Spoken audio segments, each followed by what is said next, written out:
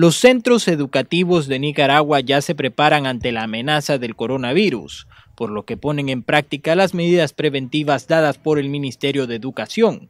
Mientras tanto, los colegios privados sumarán a estas orientaciones otras medidas, como lo son que de presentar algún estudiante síntomas por esta enfermedad, se le enviará de 3 a 15 días a su hogar para evitar su propagación en las aulas de clase.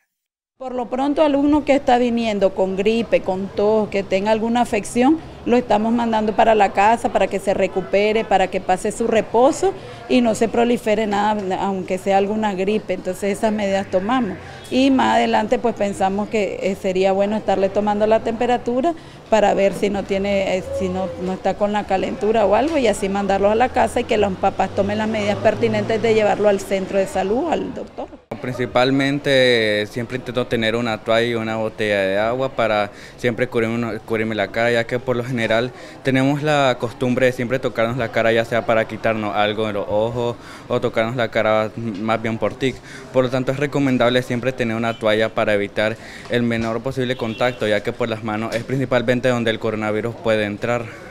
El Ministerio de Educación no contempló entre sus medidas la suspensión de clases en los centros de estudios para evitar propagación del virus. Sin embargo, los colegios privados se declaran preparados con alternativas de estudio utilizando la tecnología.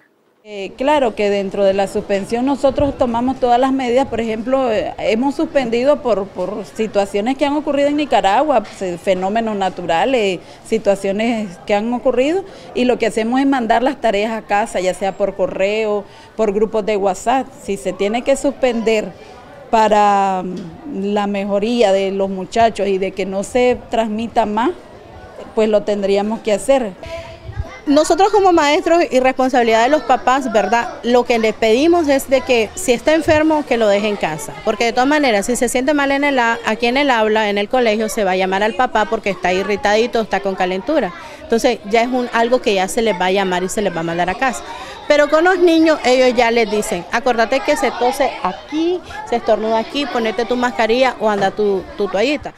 En cuanto a la educación superior, la Universidad Centroamericana fue la primera en Nicaragua en suspender sus clases presenciales del 16 al 21 de marzo como medida preventiva. Sin embargo, el Consejo Superior de Universidades Privadas afirma que trabaja en un protocolo de seguridad por el coronavirus. Tenemos que eh, fortalecer lo que veníamos haciendo después de la crisis de abril, que era la plataforma digital en línea, para que los estudiantes ya comiencen, ¿verdad?, a ir trabajando en línea, porque no sabemos, va a llegar en algún momento este efecto aquí, pues, Teóricamente no hay ningún caso, pero este, no, no estamos exentos de que, de que de pronto comiencen unos casos aquí, pues, y es importante entonces que estemos preparados nosotros, porque al aparecer casos ya pase alguna otra cosa, aquí se van a tener que tomar otras medidas, el gobierno va a tener que tomar otras medidas que tal vez no ha querido tomar en estos momentos porque no hay ningún caso específico. En Centroamérica, por la prevención del coronavirus, han suspendido clases Guatemala, El Salvador, Honduras, Costa Rica, Panamá y República Dominicana. Lorenzo Vega Sánchez, Voz TV.